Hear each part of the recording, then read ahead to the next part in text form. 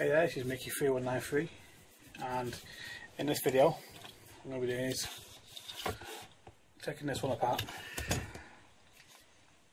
This is the um, flying bug and it's in need a bit of TLC so this is going to be my first restoration piece. Uh, I'm going to take it apart now, have a look at it quite interesting to interested to see what's actually making this one up because we've got your grey plastic in the windows, we've got yellow plastic on the rockets, obviously got his face in there. Um, be interesting to see how his helmet, whether that's going to be another little rivet or if it's going to be just held in somehow. Um, obviously got your body and the base, so it's made up of quite a lot of components.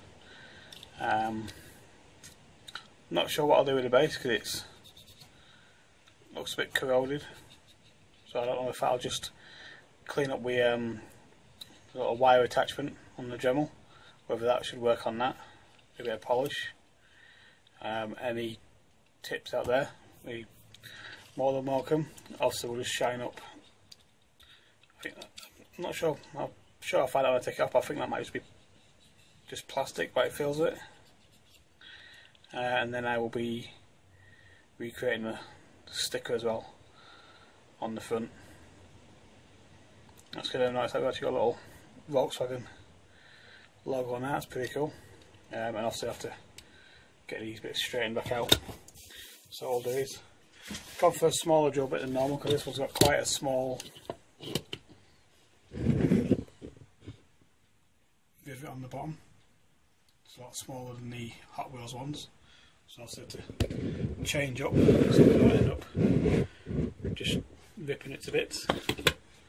So, so let's get straight into it. As again, I'm not sure what size, none of these are marked up with a size. So we'll try to give this one a try.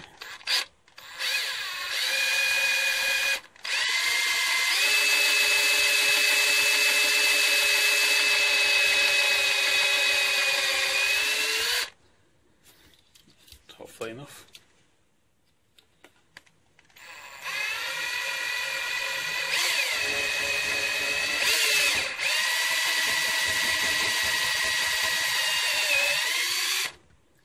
Do actually feel quite soft. Um, the metal seems a lot softer than the Hot Wheels. There was no pressure on that at all, and that's gone quite a way into it. Any further than that would be through the would have been coming up through the hood. Um,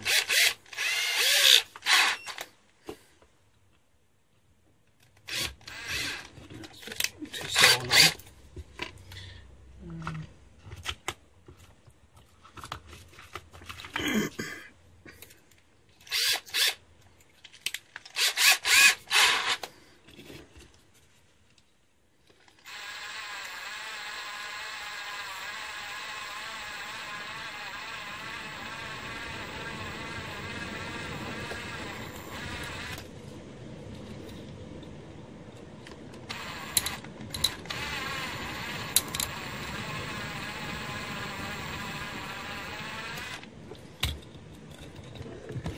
I don't think that's going to do it, but we'll, we'll have a look.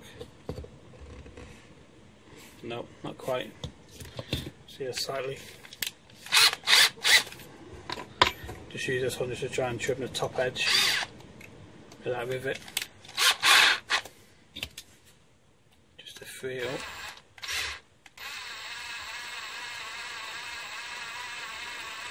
No real pressure, just so it sits on top. Don't want to put any pressure on it because I'll just end up eating into the base. Just wanted to try and clean that top of that rivet off. And there we go, that's come away perfectly. And straight away the helmet's popped off, so the helmet just appears to be held in by the fact it's pinned under the edge of there with his head. So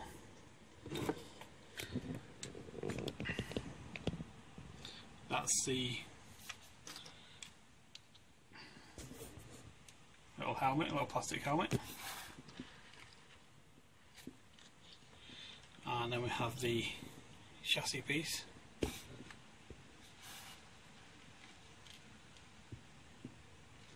With your skin coloured plastic piece. And now we've got another couple of rivets that are going to have to come out.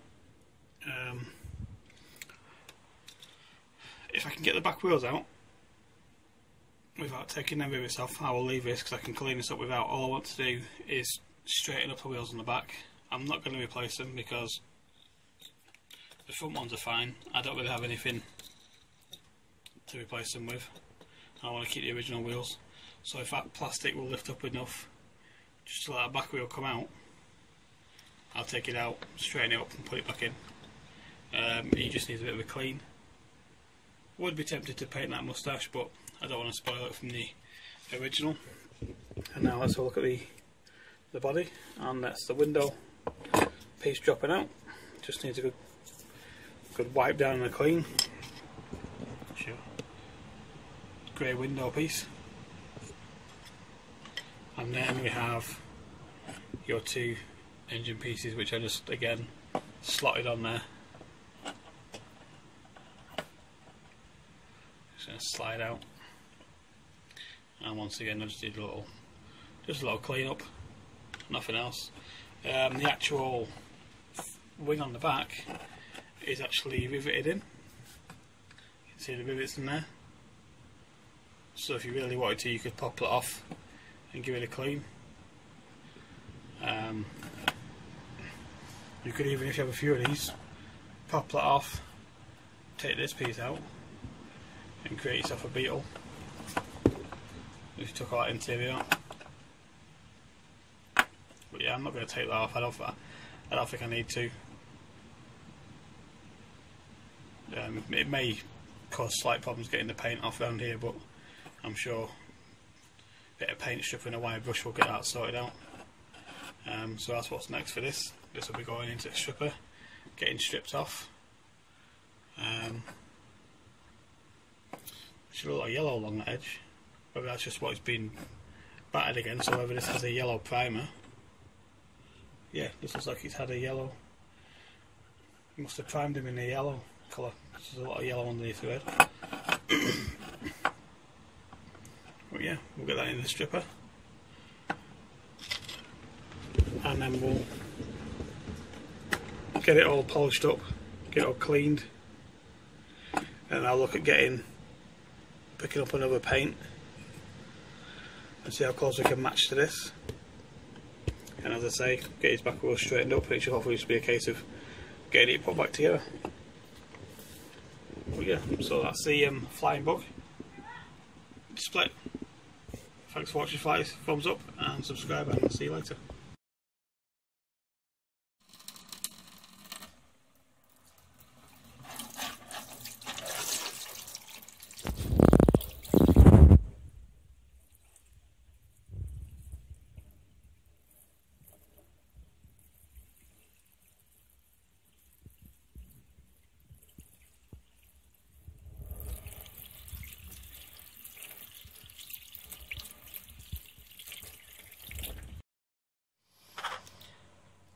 So this is the, the body, all stripped. I just took a bit of doing.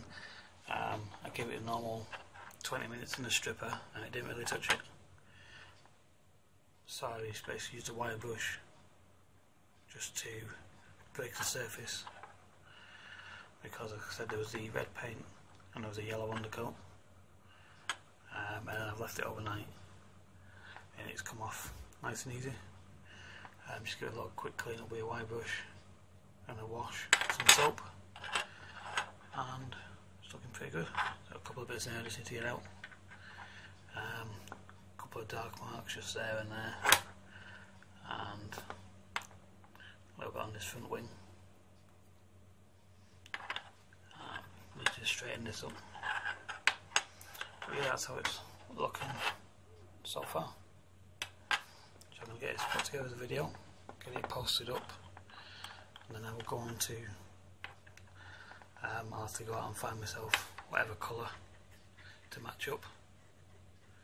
Um, I maybe should have went out and got a colour that matched up before actually stripping the paint off but I've got pictures of it anyway so yep. Like I say um, if you like this video give it a thumbs up click subscribe and thanks for watching